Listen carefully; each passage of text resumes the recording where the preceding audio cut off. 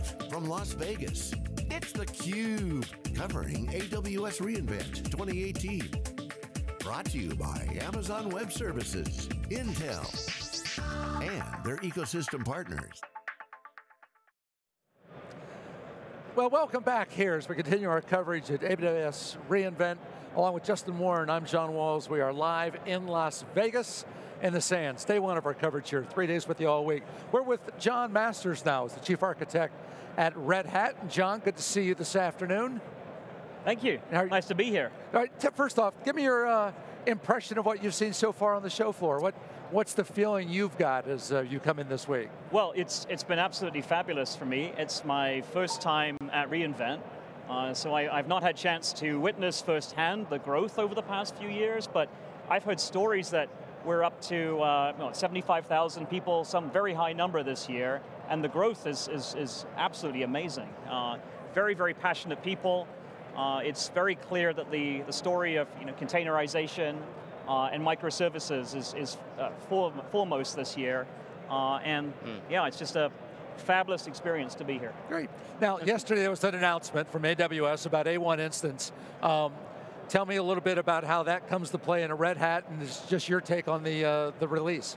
Yeah, so uh, you know, Amazon did announce yesterday uh, the new A1 instance type, uh, and it's based on uh, the ARM architecture. I think the interesting thing for me is that it's based on a processor that they themselves built, mm. um, called the Graviton, and uh, you know, this is really the culmination of what we've seen in the industry the past few years. As the cloud vendors get bigger and have you know, greater resources and great, greater capabilities, what they can do is they can take that self-determination aspect and they can say, you know what, we're now big enough and we now understand and we're sophisticated enough that we can say, we would like to deliver this to our customers and we don't have to wait for someone to build it for us, we can just go and do it.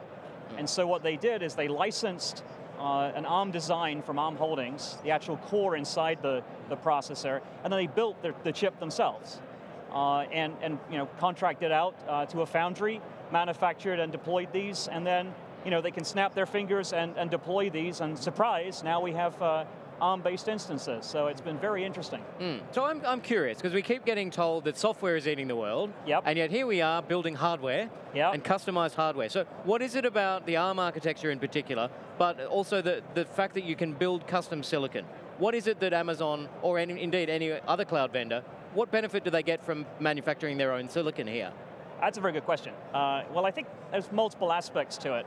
Uh, at, at, the end of the day, people tell me that you know the future is serverless, and I remind them that there's still servers somewhere, right? Yeah. So we, we still need to have computers. Uh, of course, we're going to have a smaller number of very big vendors on which we rely. I mean, we're seeing that with the adoption of public cloud. Yeah. Uh, and as these vendors get bigger, uh, they have that scale that they can invest what for them is a modest amount of money. For anybody else it'd be a fortune, but a modest amount, and they can go and build a design. And now, with a traditional uh, microprocessor design, you'd take a team of four people, and you would spend many hundreds of millions of dollars, maybe $300 million over four years yeah. uh, to build a high performance processor. What you can do with ARM is work with ARM Holdings, which is now part of SoftBank, uh, to, to license kind of cookie cutter pre-made pieces. Right. So you can license a, a, processor core, and you can stamp it out and say, well, I'll have 16 of those in my chip. Yeah. Um, and so you don't have to do the heavy lifting to design many of the building blocks, but you can integrate them together. So you get a lot of uh, cost efficiency there. You don't have to go and do all of that design, but you can integrate uh, building blocks.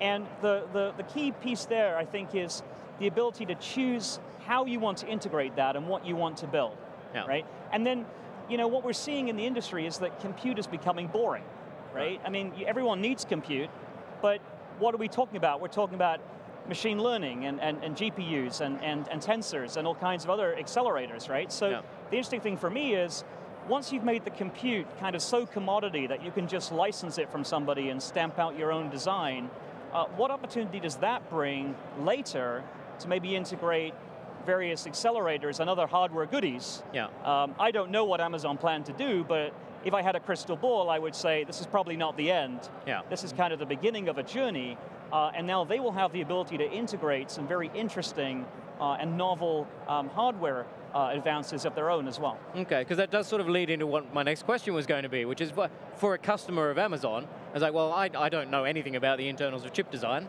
Uh, why would I want to choose the A1 instance type over one of the other existing instance types? What, what's in it for me?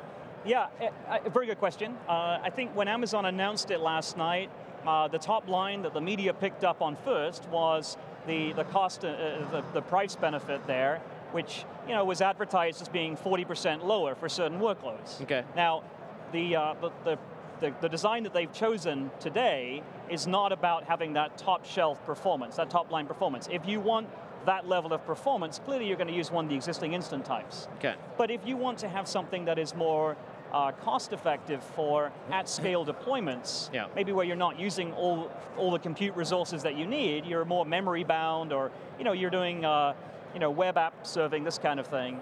Uh, in that case, you know, you don't really need that level of compute, you still need the instances, and so this brings your costs down yeah. when you're doing that at scale kind of deployment. And that seems to be where they're targeting, uh, and in addition, they're targeting, I think, uh, developers and those that want to invest in the ARM ecosystem because you know, clearly this is the beginning of a journey. I don't know exactly where they'll go next, but right. one could imagine that, that it will continue from here. Okay, now, you are an ARM fan, uh, but, I you, am. but you don't actually work for ARM, you work for Red Hat. That's so right. What's the Red Hat angle here?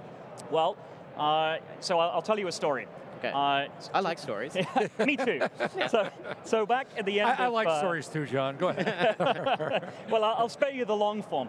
At the end of 2010, I was in one of my exec's offices, and I, I've been with Red Hat since 2006, and I had done a couple of things before that that kind of were very useful for the company, but kind of dull, so they said, all right, you know, you choose something exciting to work on next, right? Yep. So I held up a Beagle, a Beagle board, which is uh, a bit like a Raspberry Pi, and I told one of my execs, this will be a server one day. And I walked through you know, Moore's law and the pace of innovation and, and fast forward it and say, if these things were to happen, uh, this technology would be in a server.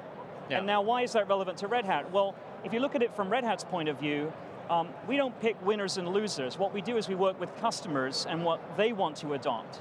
But we yeah. also need to be able to respond to our customers' needs. Yeah. So kind of the concern was, this ARM thing looks like it could be interesting in a few years' time. Um, what if it is? And if it is interesting, um, and it's kind of a zoo, as I used to call it, a free-for-all, you know, it's kind of an embedded mess, yeah. uh, that works fine, well, fine in quotes, if you're building you know, cell phone widgets and so on, because it's kind of a different ecosystem there. Yeah. But if you want to have a mainstream server play, we had to have a few of us in the industry come in and say, all right, this looks interesting, but let's make sure that the level of standardization is there, so that if this does take off, you know, standard operating systems and standard software can run on it. That's why we cared, yeah. was just in case it takes off. Okay. And then fans like me, of course, you know, want to uh, kind of promoted as well, but I think yeah. that's why Red Hat cared. Oh. Okay. You know, and, and, this is kind of off topic, but but I'm just curious because yeah. you've talked about the acceleration of change. You've talked about um, uh, innovation. You've talked about uh, new wrinkles. Is it and Moore's law? I mean, is it possible, or, or do you see that, that the acceleration of change is so rapid yeah. that we're almost outpacing ourselves in a way in that that change is happening so dramatically and so quickly that to make a decision on a particular solution or service is difficult because you're afraid of missing the next flavor in yeah. eight months or nine months instead of three or five years. That's right, and I think there's another piece there where the cloud makes even more sense, doesn't it? Because if you are a customer uh, or an end user and you're, you're deploying an app, you could say, well, you know, this ARM thing could be interesting, I don't know. I don't want to go and build out physical infrastructure and go and pay that tax to go and figure this out. No. What I want to do is I just want to try it out right now. And the fabulous thing that Amazon did yesterday that no one had done, you know, there have been some efforts out there to provide ARM uh, to, to the mainstream, right? But Amazon put a giant rubber stamp on it and said, this is good enough for us and it works. Yeah. And now anyone who's used to a workflow in EC2, they can just use exactly the same flow uh, to spin up one of these instances and try it out. Mm -hmm. It's a, you know, 30 second thing, just try it out, see what you think. If you like it, great. If you don't, then don't use it. And because you are able to just consume it according to whatever you want, you don't have that commitment either, yeah. So a test drive. You can test drive it. If it works well, you can adopt it. There's no obligation, and, and that's, I think, key to uh, exploring new technologies as well. Yeah, it does require you to have that software layer on top of it that runs. I mean, we were talking before that Red Hat has invested a lot to actually get the Red Hat software suite to run on ARM. That's right. So I'm sure that with this announcement, there's going to be a whole lot of other people suddenly discovering how to compile to the ARM architecture, which will be, that'll be fun. That's right. We, we've invested for the last eight years in this, and what we have now is a strategy we call uh, our uh, multi-architecture strategy. So again, we don't pick winners and losers. We have all these different architectures that we support. Obviously x86, um, also Power and mainframe, uh, and now ARM.